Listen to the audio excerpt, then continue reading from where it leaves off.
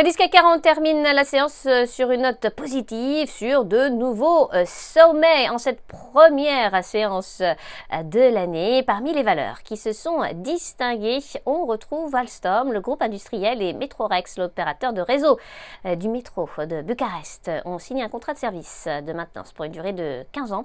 Le montant total de ce contrat est estimé à 500 millions d'euros et est basé sur le nombre estimé de kilomètres parcourus par les trains en circulation. On passe à EDF Engie, selon Reuters, la Commission européenne pourrait classer comme vert certains investissements dans le gaz naturel et l'énergie nucléaire.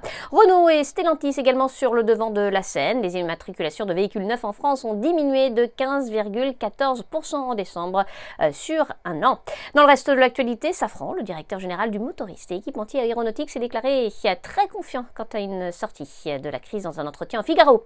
Il a indiqué établi sur une marge d'exploitation à deux chiffres pour 2021 il prévoit 12 000 embauches en 2022, dont 3 000 en France. Enfin, Antin Infrastructure Partners, le fonds d'investissement envisagerait la cession de l'opérateur de réseau de fibres espagnol Lintia. Selon le journal espagnol Expansion, Lintia pourrait être valorisé à 4 milliards d'euros. À New York, Sabrina Cagliosi pour Trading Central. Je vous souhaite une très belle fin de journée à tous. À demain.